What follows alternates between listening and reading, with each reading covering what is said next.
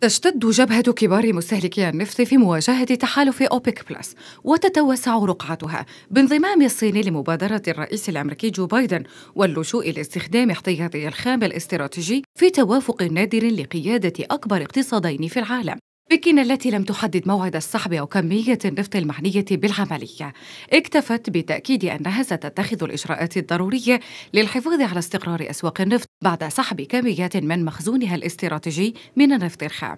وعلى خطى الصين والهند وقبلهما بريطانيا كشفت طوكيو عن نيتها تنظيم مزاد علني لبيع نحو أربعة ملايين ومئتي ألف برميل من مخزونها الوطني بنهاية العام الجاري بما يعادل يوما أو اثنين من الاستهلاك الداخلي من الخام. في الطرف الآخر من الحرب النفطية المستعرة تكشف صحيفة وول ستريت جورنال عن مشاورات روسية سعودية قد تنتهي بإلغاء زيادة مرتقبة لتحالف أوبك بلس تضمن ضخ كميات بنحو 400 ألف برميل يوميا من الخام اعتبارا من الفاتح ديسمبر المقبل.